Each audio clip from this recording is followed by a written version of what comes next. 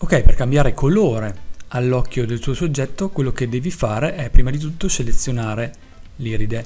Quindi prendi lo strumento selezione ellittica, tieni premuto il tasto shift della tastiera, clicca e trascina il, il tuo strumento di selezione in modo da creare un cerchio perfetto e cliccando, tenendo premuta la barra spaziatrice, mentre crei la selezione puoi spostarti e posizionarti nella, nella, posizione in cui desideri per creare la selezione perfetta. Quando sei nella posizione giusta rilasci la barra spaziatrice e continui a creare la selezione.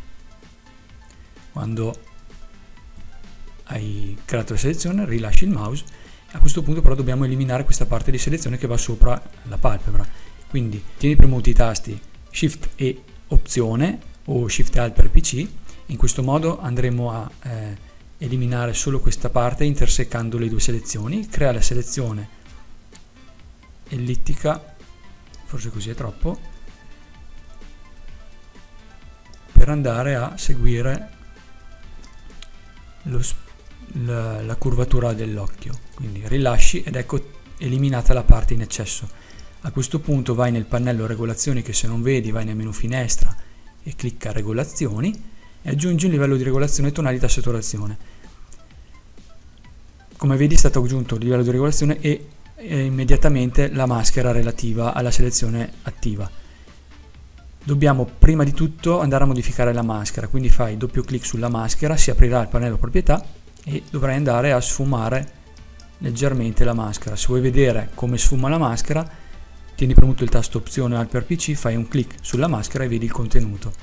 Quindi vediamo di sfumarla un po' e ritieni premuto di nuovo il tasto opzione alt per PC e fai di nuovo clic sulla maschera per tornare alla, visualizz alla visualizzazione normale.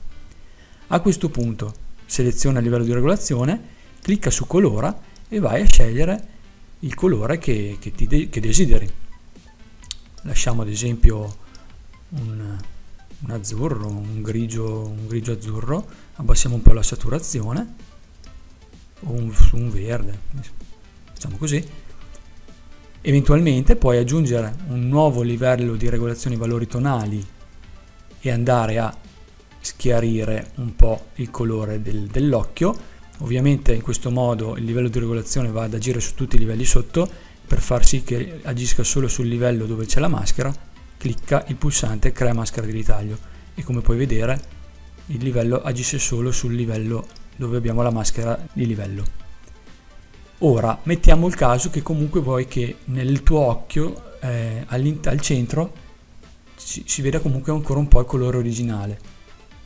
Quindi, cosa puoi fare? Duplicare lo sfondo, portarlo sopra tutto e aggiungere una maschera di livello nera tenendo premuto il tasto opzione o alt per pc facendo clic sul terzo, sulla terza icona qui in basso nel pannello livelli. Come vedi viene aggiunta una maschera di livello nera, prendi un pennello impostato su bianco e mettiti al centro della pupilla e allargalo un po' e utilizza un pennello morbido. Quindi comincia a fare diversi clic in modo da far spuntare il colore originale dell'occhio. A questo punto puoi anche andare nel livello di regolazione tonalità saturazione e variare i colori del tuo occhio